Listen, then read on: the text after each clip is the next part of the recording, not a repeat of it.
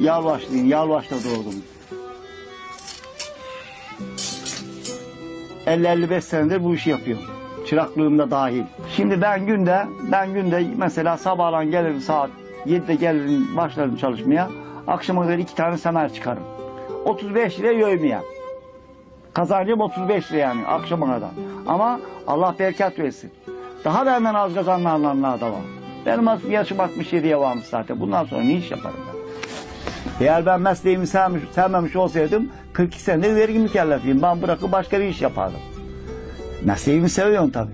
Bir insan bir insan bir işten bir işe atladı mı da o hemen çok mu para kazanır zannedin sen? Yok.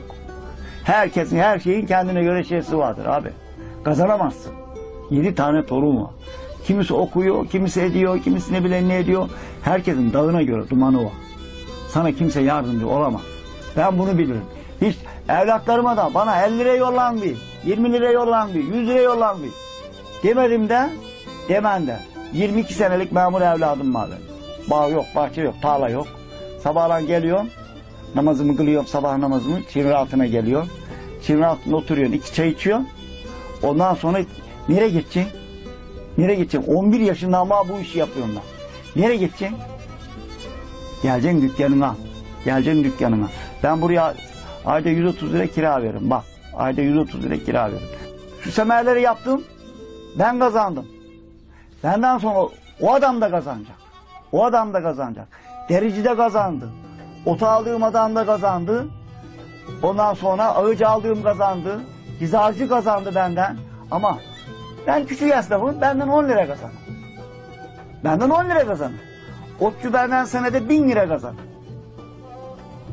Otçu da benden senede 1000. Ama ben çalışmasam kim kazanacak ben? Kim kazanacak? Ben bir milli servet gibiyim yani küçük esnafım ama benden para kazanıyorlar değil mi? Bana göre öyle. Şükür bugünümüze.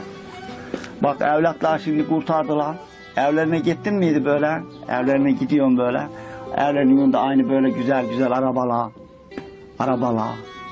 Anladın mı? Çoluğu çocuğu güzel. Kızın kızı İstanbul Boğaz içinde okuyor. Neden? Hep bu çuvaldızdan. Böyle yani işte. Allah ne verirse hayırlısını versin bakalım. Ya yavrum